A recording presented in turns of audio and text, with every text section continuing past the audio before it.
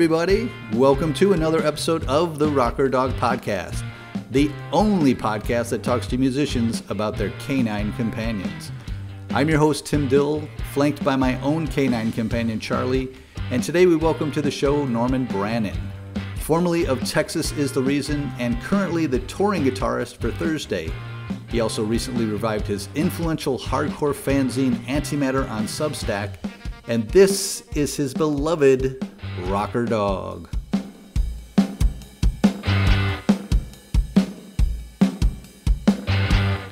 So my rocker dog, and he was a rocker. He, he really was. Uh, his name was Bosie. Um, he is no longer with us. He passed uh, little about two years ago now. But it's really bizarre because his presence is still very much felt. And maybe this is like I actually feel like social media has a has a role in this. Okay. I feel like social media because you know Instagram was fairly new when we got Bosie, Mm-hmm. and I remember we actually found Bosie on social media. he was um so he's a rescue dog. He was a dachshund, and he was being fostered by a friend of a friend, and so I'm in a, in a relationship. I've been in this relationship going on 18 years. Uh, When we got Bosie, we were probably eight or nine years into the relationship. And I had spent eight or nine years trying to convince my partner that we needed a dog. and and it was a major issue of mine because I'd had a dachshund before and um it I just I needed that. I think dogs just tend to center me and Uh-huh. I I need also a little oxytocin fixed. Uh so one morning I was scrolling through then fairly new Instagram and a friend of mine posted this picture and said my friend Gordon is fostering this dog and his name at the time was Leonard Bonin. He was named after Leonard Cohen. and so we uh I just saw him and I turned over to my partner and I was like we're going to meet him today, right? And surprisingly he's like okay. And we went to meet Leonard Bonin and after maybe spending an hour with him and and the intention wasn't to adopt him it was really just to sort of meet him Right. but he took to us instantly um in a way that Gordon who was fostering him was kind of like I don't know what you guys did he's very happy to see you and when we left uh Gordon's house I just turned to my partner and said so we're adopting him aren't we and he was like yeah and that Okay. was how Bosie came Now, this is your partner, John. Had he had any Yeah. history with dogs? Did he grow up with dogs?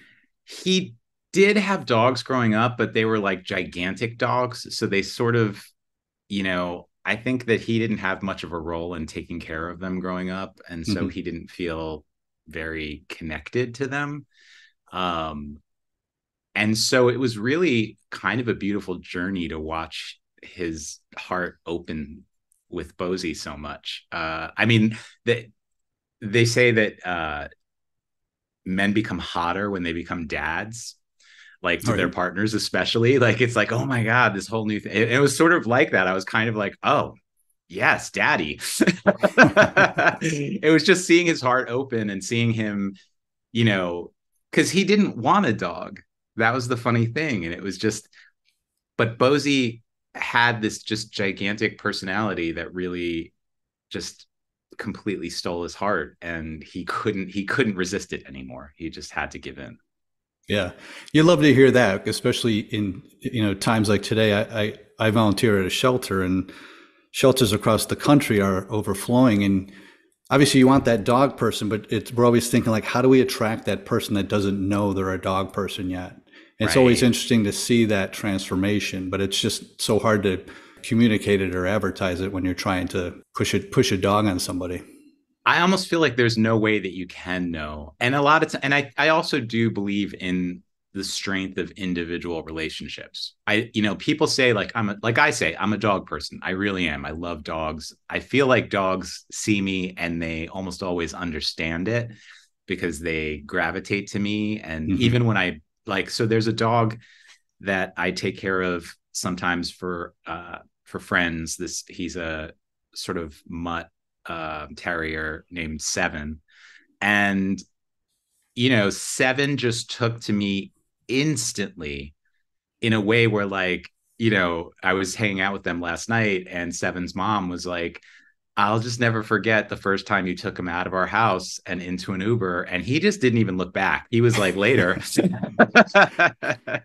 It was like they understand that the energy and and yeah. they they're like you're yeah you're my person. I got this you know? Yeah. and so sometimes there's that and then also there is the individual dog factor. And it's really important i think not to create this monolithic impression of dogs not even by species or breed but just dog to dog. Every dog is going to have that different personality just like every person is going to have that different personality. And when the personalities mesh it's undeniable yeah yeah. I hear that many times on the show that you know when somebody does go to wherever you know more times than not it's a rescue and there's all these dogs they somehow there's a connection. You know there's a chemistry there's just this unspoken thing that connects them to a certain dog out of out of a mall. It's very i mean it's a, it's a very magical thing if you've ever experienced it. And i feel very you know i think for me obviously i have a bigger soft spot in my heart for rescue dogs i have a very typical story of just sort of having a shitty childhood and feeling like akin to the rescue dog. yes, yes. You know, being the kid that was like, you know, on the street when he was 16 and and just being like, okay, what's who's going to rescue me? Yep. Uh, and so Bosie Bosie was one of those dogs too who when we got him, he was an older dog, which was another thing. So we don't know ultimately how old he was. When he passed, the vets were more like we think he's probably 15, 16 years old at this point but when we got him, vets were like, uh, he could be anywhere from six to 12. Oh so gosh, it was really yeah. unhelpful. but he we knew he was older. We knew he had a hard life. He had, you know, scars all over his body that we didn't know where they came from. He had frostbite on his ears, so clearly he was, you know, freezing somewhere. I know this his, his sort of story was that he was in Indiana and um the person who owns the rescue where we got him was visiting family in Indiana and she it was Christmas time and she was just like I have to go to a shelter. I just have to sort of see and um, she wasn't going to take anyone home but Bosie was literally on the kill list and yeah. she was like I can't I can't. and so she took one dog and it was Bosie. Mm-hmm. Um, and you know how amazing is that that you know we got like 8 years with this dog that weren't promised to him like yeah. that's amazing, or us for that matter. I mean, we mm-hmm. were in as enriched as anything. So yeah, well, you were starting to say that you feel like his presence is still there, and you're crediting it to social media. Well, I mean, I can I can sort of finish the thought. I I feel like one of the biggest sort of boons of social media because it's a terrible place to be, but um, you know, when you're me and you're sort of a public figure and you need to keep some kind of social media presence for whatever reason, you're always looking for ways to make it better. And right. obviously, sharing Bosie with the community of followers that I have, it was it was it was a couple things. I mean, one, it was that like I love my dog and I want you all to see him.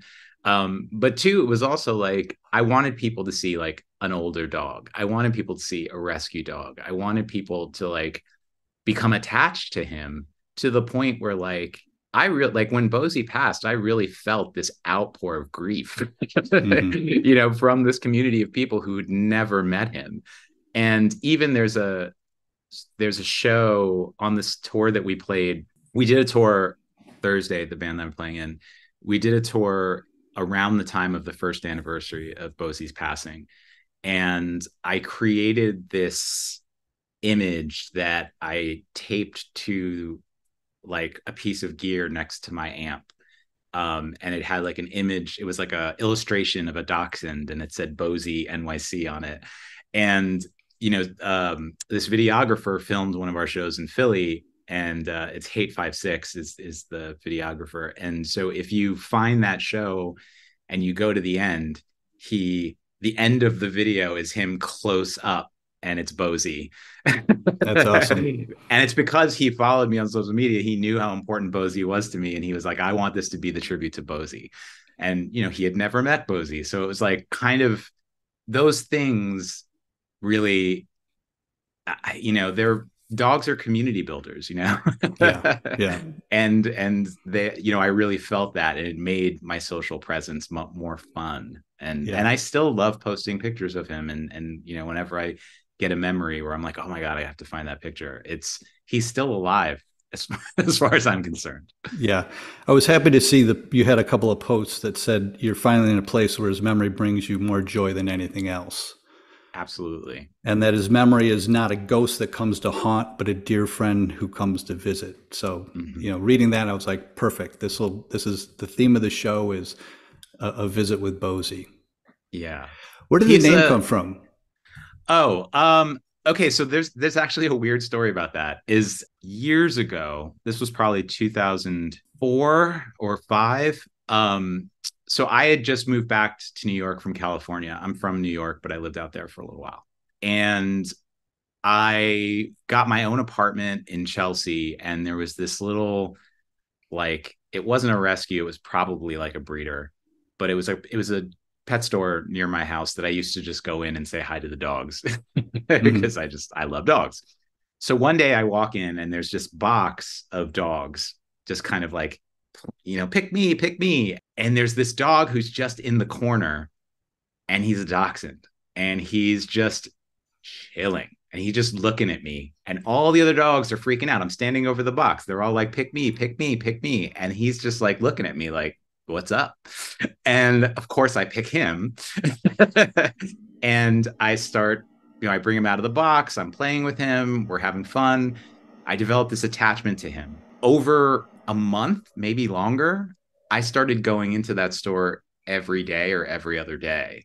And at some point, I didn't, I don't remember what his name was, but I didn't like it. And I started calling him Bosie. And so I called him Bosie because I've always been a huge Oscar Wilde fan. And Bosie was the nickname that Oscar Wilde gave his lover, Lord Alfred Douglas. Okay. And I didn't know what it meant.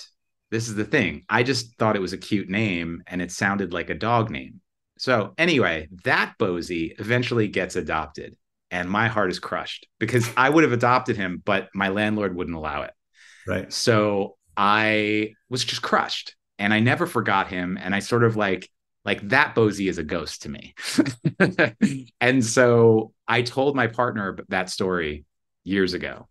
So when we got Leonard, I thought, well, maybe maybe his name's Leonard. He kind of looks like a Leonard. There's a little Leonard in him, right?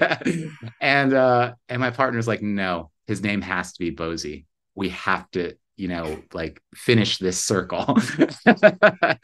And uh and you know it took me a minute to really sort of accept that and and you know look at Bosie as Bosie. And then I but as soon as it clicked it just clicked. And I was like he is Bosie. You're right. You're absolutely right. So fast forward 6 months a friend of mine in Scotland texts me. He sees pictures of Bosie on the internet and he was like I love that you named him Bosie. And I was like oh, like, are you into Oscar Wilde? I mean, he was just like a random straight punk kid from Scotland. right. And I was like, are you into Oscar? No, no. He's like, no, no, that's Scottish slang. And I was like, what for what? And he's like, cuddles. Uh, and I was like, oh my God, this is the best name ever. And so that's so funny. Yeah, because Bosie was the cuddled dog. That's what he wanted all the time. Well, he he's uh, he loved being on your chest. It seemed like if you're on that your was, back, he'd go right on his chest. That was his thing. He it was either my chest or inside my armpit. Yeah, but it was one of those two things, and it was he.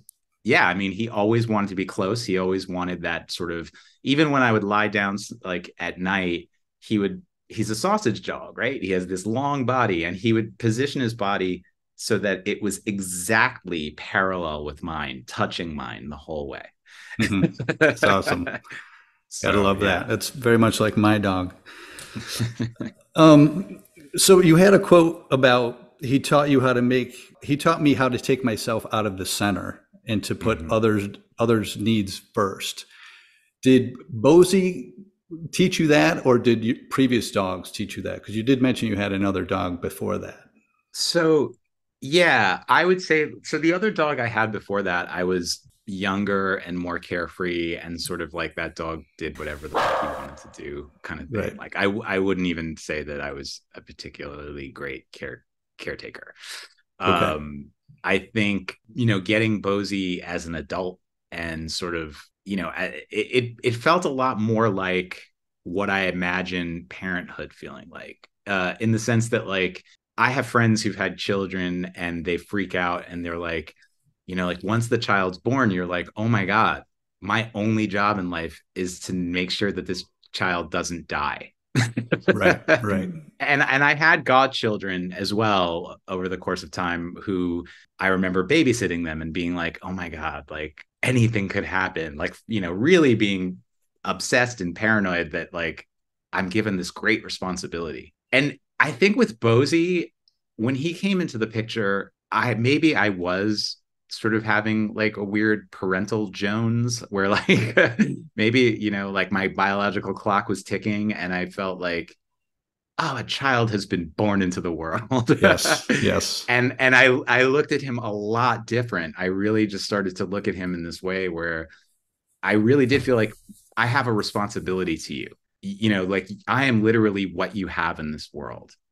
And so if i don't take this responsibility seriously i'm letting you down and i'm giving you a bad life and you don't deserve that.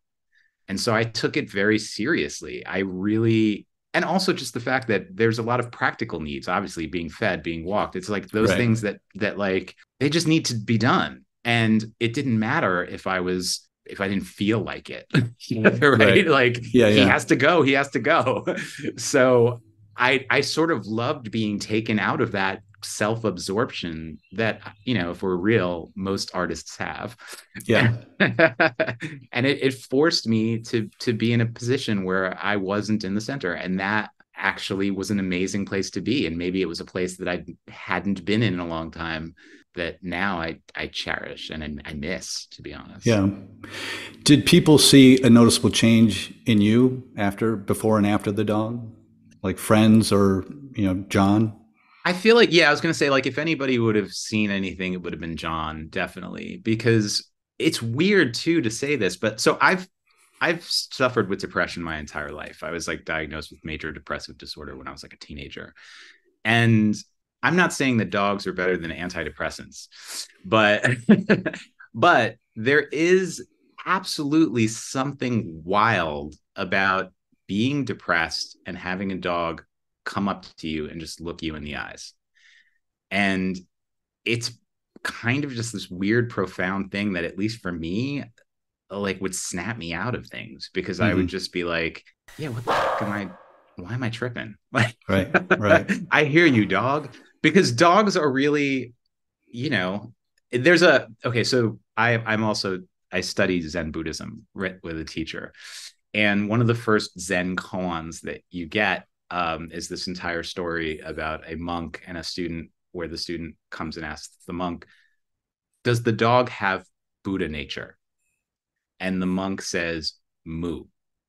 And so, mu is this word that sort of means yes and sort of means no and sort of means both and sort of means neither. It's the most ambiguous word that you can answer. And so, in a Zen koan, your your idea is not to solve a koan; it's not a puzzle your idea is to work with it. Okay. And I loved, first of all, the fact that this very primary fundamental koan was about a dog. but when I think about Buddha nature and when I think about the dog, for me, there's so much there because the dog always lives completely without fear of the past or the future. The dog is just completely there mm-hmm. all the time in the present just being like, hey, why are you depressed? We're here together. This is great. yeah. Yeah. you know, and and it's true. Like I could it's almost like you could hear Bosie like talking me out of it and just saying like, "What are you doing, man? We're chilling. This is great. Life's great. Don't worry about these things that haven't happened." You know, yes. and that's that's a dog way of being. And so that really taught me a lot as well. I think like we could all stand to be a little more like dogs. yes, for sure. You had mentioned in a post uh, wisdom of a dog. I'm wondering, are there any other anecdotes or words to live by that you've kind of strung together from you know living with Bosie all these years? I mean, I I would say not. I mean, not so much more than than sort of like what I was just talking about. I do feel like uh-huh. that that particular thing, that particular idea of like radical presence, is is the thing that I think I love the most about being with dogs in general, but Bosie particularly. You know, I, I when I talk about Bosie, Bosie's last day, right? That was a really difficult, obviously, such a difficult time. He had been suffering from dementia. I didn't know dogs could get dementia. So part of me was blaming myself, like, oh, there are things I could have done. You know, there's food I could have given him or right. toys he could have played with or things that could have improved his cognitive health. Like I'm an idiot. You know, it was really it's it you beat yourself up always. But that last day, it was so wild to me because it felt like Bosie knew and was just like he hadn't been that chill in like a year. Like for the entire last year, the dementia would take over and he would just howl in the corner or he would mm. get quote unquote trapped under a chair where like you know he'd just look frightened like oh my god i can't move and you're like yeah you can just move your legs come on um you know and it was like all these things that were just so heartbreaking until finally you know he had a seizure and then it was really scary and we took him to a neurologist and then you know we realized that we had limited time and so on that last day I remember we gave him a huge dinner, just like everything he could have ha- wanted, and he was so happy. And then in the morning, we gave him this amazing breakfast with pancakes and scrambled eggs and bacon. And like, I mean, he was an old dude with dementia, but he was living life. Yeah. And he didn't whine once, he didn't howl once. After breakfast, he just came and sat on my lap. When we drove to the vet, he sat there quietly and he had been having major trouble sitting in cars for a year and was just completely calm.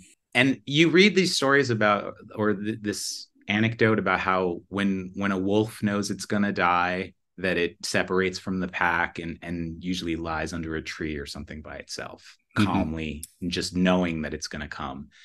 And there was something about that that kind of was like, oh my god, Bosie's bringing out his inner wolf right now. I think right. he just knows. And he's basically like being very chill and just saying, thank you. We had an amazing time. Gosh, I mean, that must have, as, as difficult as that is, that must have helped you cope, you know, 100%. to know that the dog was in a peaceful state and until the end. I mean, I literally, if, if that day had gone any different, I don't know, like if I would have peace right? Like if he had resisted in some way, if he was like, no, no, you know, like, I, yeah, yeah. I mean, I don't know, like what people's experiences are. I, I tried to prepare myself. I watched YouTube videos one night and I was like, why am I doing this? Oh my God. Like, there's no way to prepare yourself. Don't do that. yeah. I was going to say that, that YouTube rabbit hole is dark.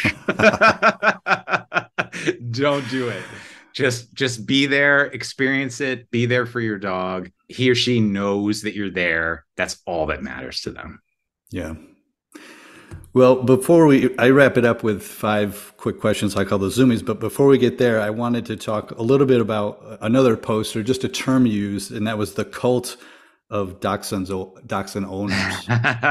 Yes. And i was curious are there certain tenets to that religion? Um it's it's a very secretive religion.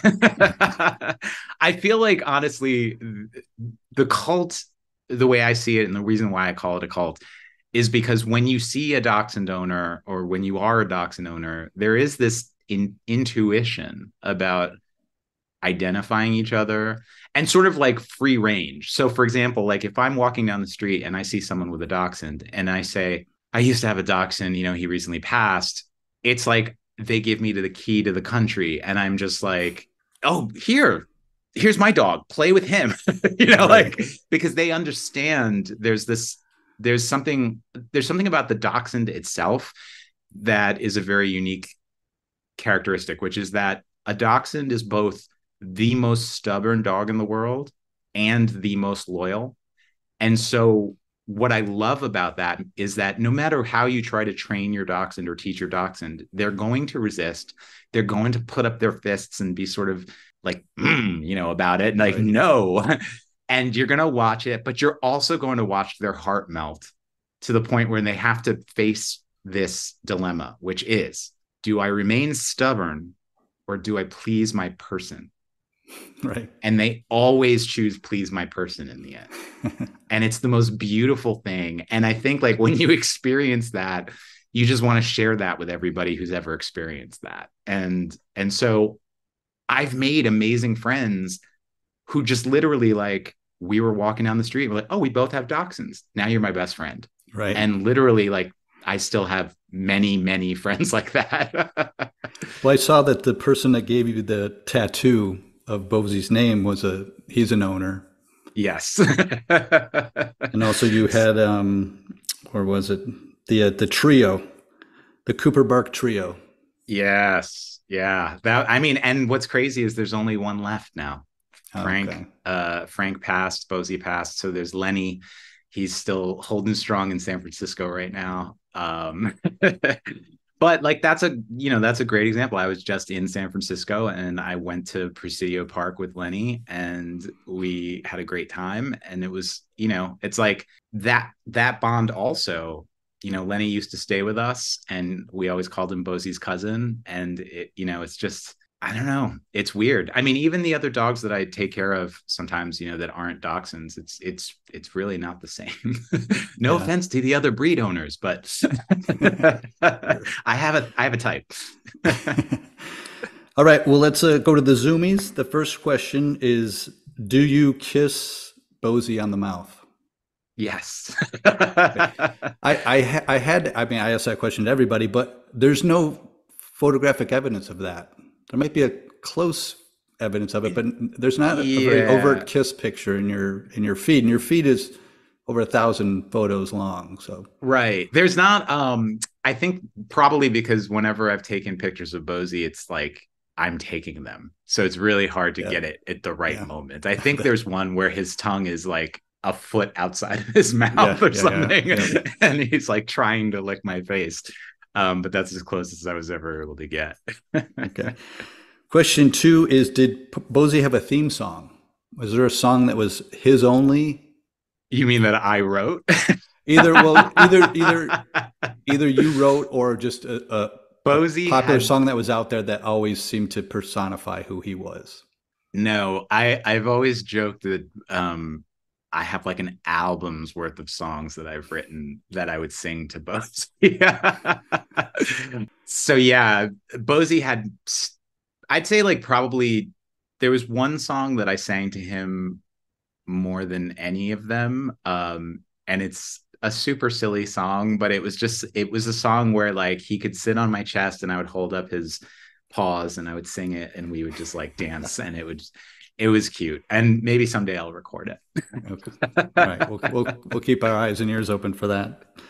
Did Bosie ever go to gigs or tour? Um, no, but it was funny. I was just last night. I was talking about um, so the first dachshund that um, I had. Me and my roommate, we sort of lived with this dachshund together, and she was Japanese, and she named him Atoma. But I was like, that doesn't sound like a dog, so I named him Moochie and Moochie is this Hindi word that means dirty. It's so they they call dogs Moochie in India, and so so I started calling him Moochie. So anyway, I used to take Moochie to CBGBs, um, and we would hang out outside, but we never went inside. But he would always just love the attention and all the kids hanging out and like petting him and all that stuff. That's that's probably as close as I've ever been to taking dogs to a show. okay. Well, question three is if if uh, you went on tour with Bosie, what would he insist be on the rider? Oh God. Um, you know what? Bone Bosie really liked his greenies. Oh, okay. He was like, um, like that was a thing where like that was like his ultimate treat because he when he was found, he didn't have that many teeth and he had to Mhm. get more teeth taken out because his oral health was just not good. Right. Um, and so greenies would take him a long time to get through. So for him, it was like, oh my God, this is the best treat ever. It lasts forever. Right. and he would just sit there and it was very much like a like a don't with me while I'm with my bone kind of situation. Right. Okay. Okay. Question four is Did you use a dog voice to speak to him, or did you give him a dog voice to kind of personify him to others? Yes. Yes, on both on both occasions. Um, he had a voice. um, mostly I used it to antagonize my partner. And what what I mean, I don't, I, I don't. It's funny. I always, I always say I don't want to embarrass you. You know, you don't need to. I won't ask you for it. But you're a performer. Um, Uh, can you well, describe his it? I mean, was was- it a, was it gruff? Was it what kind of personality were you taunting your partner with? So it's funny because you know you name Bosie after like a English aristocrat, and you think that that would be the, his voice, but I sort of made him sound like a weird, like almost like a Raggedy Andy character, like oh Okay. my god, you know, because Bosie was a little bit goofy, and and so it felt a little bit goofier, and and that was the voice. But when you have a goofy voice and you're antagonizing someone with it, it's gold. Yes. So. okay. Awesome. And last but not least, is there a dog organization or service that uh, you'd like to give a shout out to for just doing doing good for dogs? Yeah. Um, so my one of my favorite Instagram accounts actually is Little Paws Dachshund Rescue. Um, they're not in New York, unfortunately. So it's like I see all these dogs, and I am personally starting to open myself up to finding a new dachshund and adopting again. And they they have so many good ones. It's really hard to find rescue dachshunds, is Yeah. is sort of the thing. Um, Yeah. they're not really a breed that just runs out on the street and hangs out. But I have seen some interesting like mixed rescues, and I'm I'm fascinated by the dachshund pit bull. Mm. Um, I've, so I've seen that... a, I've seen a couple pit bull mixes that have been very big with very short arms and legs. it's it's it's basically pit bulls that have sausage bodies. And Yeah. uh and so there's something about that that's like appealing to me in some way. I don't know. Um i mean i like a good chiweenie too but uh but yeah it's the the dachshund rescue situation is very dire and i feel like little paws are really like they're they're out there finding them Yeah. and so i i absolutely want to shout them out and support that Okay, great. And I, I love your answer. I was going to ask, are you in a place yet where you can bring another dog into your life? it's still a little rough because I have to really make sure that my partner's good with it because I'm still touring a lot and I I realize that it can be a lot to be a single dog dad. Mhm. Um, I've had situations where John was out of town and then I got really sick. Like I got shingles once when he was out of town and it was insane. It was horrible. But again, this is where you know that your dog is is your dog. Like Bosie knew immediately that whatever was wrong with me was something different. And he I mean, it's weird to say like he took care of me, but he did. Yeah. Like he he didn't whine about like going out to walk. Like he walked whenever I could walk. And he was fine with it. He, you know, he didn't bother me about food. He he was just like, I'm going to hang out in bed with you until you tell me we're doing something. Yeah. And so that's it's hard to be like, that's the kind of dog I want. Yeah, you, can't yeah, really order that dog up. But Yeah. but I am gonna be very conscious of of the connection. It's very important to me to have this connection. Yeah. Have you considered fostering or have you fostered in the past? Um, I want to foster, to be honest. I I think John has resisted that. I think he feels like if we foster a dog, I'm just going to be like, I want him. Yeah. But it's a good way to it's a good way to see if you have that chemistry. right. I mean, Yeah. the thing is, is that there there are very few dogs, honestly, and I get what John's saying. There are very few dogs where I feel like zero chemistry with. So Yeah. I can see if I pick a foster and I'm like, yeah, you know, in my brain, I'm thinking like, we're going to be best friends. Yeah, yeah. It's funny at the shelter. There's always one dog when I when I'm leaving. There's always one dog with really sad eyes, and I'm like, all right, I, will take one more out for for a, a walk, and it ends up being the one that like you know I'm flying you know in air, and he's dragging me through the woods. So it's always like, ah, he got me. he suckered me in. But I mean, also best part of his day. He's so psyched and he's so yeah. happy that you took yeah. him out. So, and I, I, try to remember that too. Even when you get like, there are days where you're just like, I don't want to go outside. It's raining. It's, you know, or like whatever it is. Yeah. And, but it's like, no, I mean, literally, you're like, this is literally the best part of his day. He gets to sniff, gets to hang out, do his business, you know, like he's with his person. I love that. I mean, there's a point where I internalized that completely. And now it's like, this has to be a joy for me as much as it is for him. Yeah, yeah, exactly. Well, Norman, thanks so much for giving me your time and taking me through Bosie. I'm very, I'm so happy I found you and uh, you know got to hear about him. And I'm, I'm sorry for the loss. I know it's been two years, but you know, like I said, when you do look through your Instagram, it's it's it's full of him, and he brings so much life to the Instagram experience. Um, and just thank you for that. Thank you. I, mean, honestly, the opportunity to talk about Bosie in this kind of way, I am just so happy to have had that opportunity. So thank you. Oh, you're, you're welcome. I'm glad to hear that.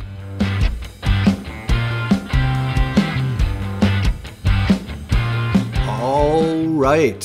Thank you, Norman Brannon, for coming on the show and sharing the life and times of Bosie and the other dogs in your life. The second coming of Norman's influential hardcore fanzine Antimatter is available to all at antimatter.substack.com. The dog organization Norman chose to put a spotlight on is Little Paws Dachshund Rescue, whose goal is to identify abandoned, mistreated, or homeless dogs and oversee their treatment and well being while working to find loving owners for those in their care. To adopt, donate, or volunteer, go to littlepawsdr.org for more information. Thank you for listening to the show. Lend us your support by following us on Instagram at Rocker Dog Podcast, where you'll find pictures and videos of our guests and their dogs. Please join us again next week for another great new episode featuring two legends in the folk slash country slash Americana world. One who drops so many F bombs, we're going to start a swear jar to raise money for my local shelter. So be sure to join us for that one. It's actually very funny, very entertaining. All right, my dog is giving me the wrap up sign. We'll see you next week.